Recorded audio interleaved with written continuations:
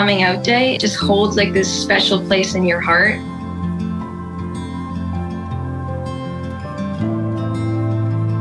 Even if they're struggling, we can help each other out.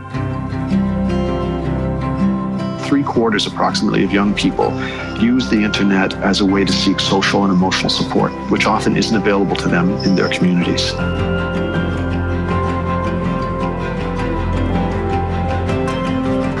Everyone, I just uploaded a brand new IGTV about my coming out story. Today, I want to share with you my coming out story.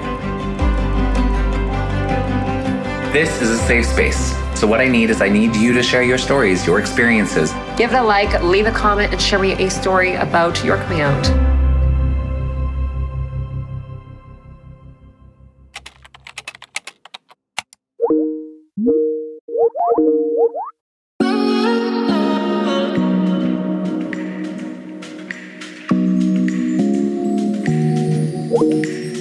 Oh, I can see you. Yes. Hi. I think it's incredibly brave and wonderful that everybody came today.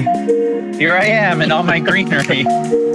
I'm just grateful. I'm grateful to be able to be in these spaces. I often wonder what my experience would have been back when I was a teenager if I had had experiences like this. I know from personal experience, coming out online, having somebody tell their story and be like, that's me, is like the best feeling ever. Just know it's your own journey. It does get better. That is the truth. Oh my God.